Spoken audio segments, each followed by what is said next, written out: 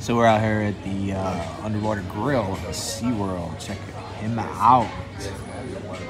We're doing this in reference for Shark Week. Shark Week's coming up soon, so when you want to watch the full video, go subscribe to the channel. Because we're going to be putting out a couple Shark Week videos this week because we're going to be here and we're going to be there and we're going to be getting it together just for these guys here that you're seeing on the screen. Old Sharky Shark Sharks. She's going away. Yeah, yeah, yeah. Uh, It's their week. Honor them. She's all the way. See? I love it. Enjoy.